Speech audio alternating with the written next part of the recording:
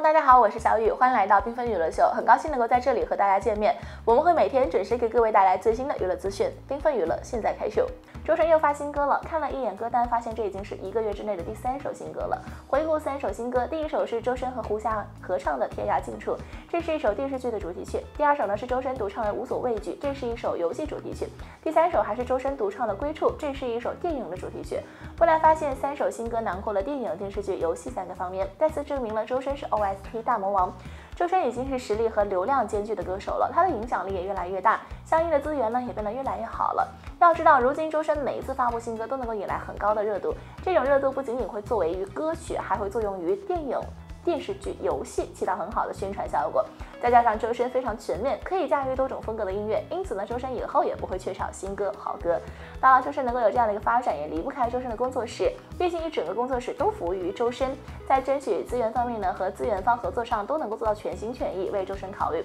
在周深成立工作室之后呢，他演唱了很多歌曲，从有些歌曲的歌词当中也可以看出来这一点了。如果细看一首歌的歌词，会发现歌词当中透露了很多重要信息，比如说作词、作曲、编曲、制作、和音、混音各种的乐器手、出品方、发行方、版权前方等。而新歌《无所畏惧》与《归处》的歌词当中都提到了周深工作室，《无所畏惧》在歌词当中特别明确了周深工作室，《归处》的出品方呢是周深工作室。不仅这些新歌如此，之前的《和光同尘》也特别明确了周深工作室，这都在表明周深工作室对于歌曲的发布起到了促进作用，这点非常关键，说明资源方和周深的合作非常愉快。一个新成立的工作室最看重的就是口碑，只有让资源方非常认可，才会在歌词当中特意明显，而这种认可呢，可以转换成实实在在的口碑，在资源方传播，从而带来更多的资源。目前来看呢，和周深合作的资源方对周深也好，对周深的工作室也好，都很满意。那么周深以后的发展也只会越来越好。因此呢，今年的周深很有可能会比去年要更忙哦，会有更多的作品。